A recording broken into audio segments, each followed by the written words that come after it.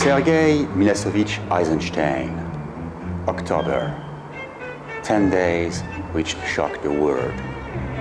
Eisenstein is very well known to be the father of editing in the seven art cinema.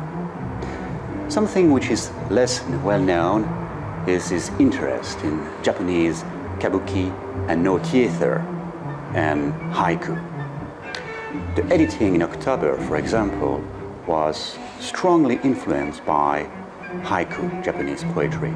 The way to mix together what which apparently is not something we may think visually put together makes a lot of sense. Like a haiku, in a few image, Eisenstein try to give to the viewer a maximum of ideas. The interest of um, haiku poetry and um, Chinese ideogram was certainly given by the interest of Eisenstein as a Renaissance man in uh, foreign literature. Reader of James Joyce, Ulysses, certainly he was aware of Ezra Pound's interest in Chinese poetry.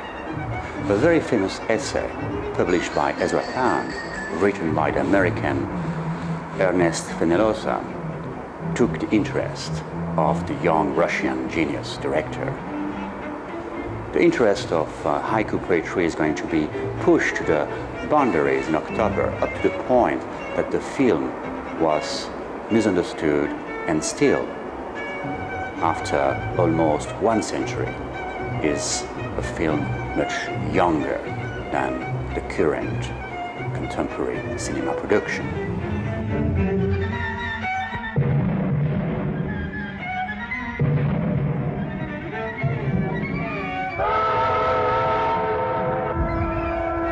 The most famous scene of October is probably In the Name of the Country and God. In a few shots, which seems doesn't make any senses, Eisenstein proved that men have invented the gods, the opposite still is to prove. Mockery of the official cult from Orthodox churches or Catholic churches is putting together different, mysterious, sometimes frightening and very funny gods from foreign culture. We got a parallelism with Islam, Asian cultures, African cultures. In one line, religion is the opium of the people. Mockery of religion, certainly mockery of military nationalist institution. In less than two minutes, we have here a striking independent view of what control people. The editing is remarkable, fast, efficient, and in a certain way, still, after almost one century, still contemporary and forehead from the most boring academic film production.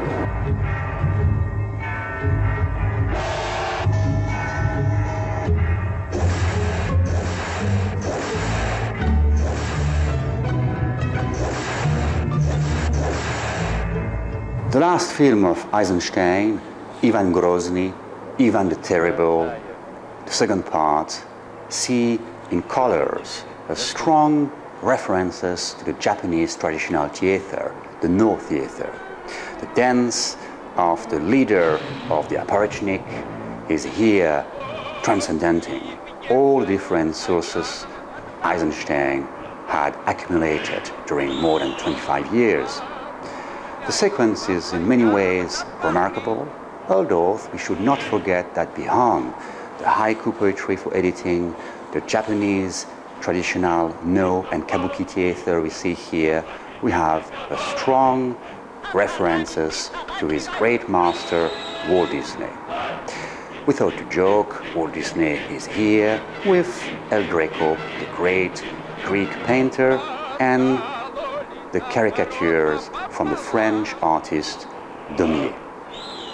Ivan Grozny represents the testament of probably the greatest filmmaker of 20th century. Eisenstein was a man of many talents, a renaissance man who knew so many things that he could transcendent many different expressions in the concept of the Gesamtkunstwerk. Eisenstein gave us a new way to express through image a language which is still, in many ways, as Peter Greenaway says, in infancy. Russian cinema's second genius will be, of course, Andrei Tarkovsky, who is going to go in a total different direction.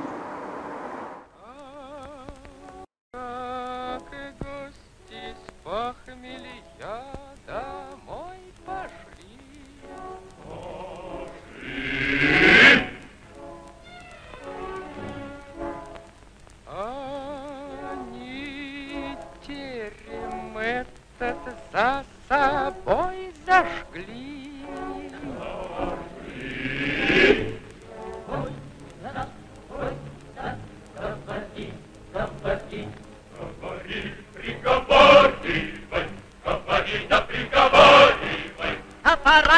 上来，七百。